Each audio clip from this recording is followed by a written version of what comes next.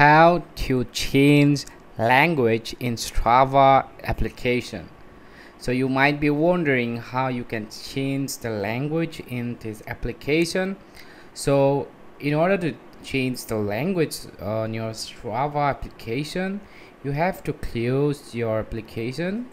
After you close your application you have to simply go to your settings. And from here you have to go to your apps and search for Strava. And now from here as you can see I I have the option to change the language from here. Tap this option and choose your desired language for the application. So I'm gonna uh, choose this language. And now let's uh, open Strava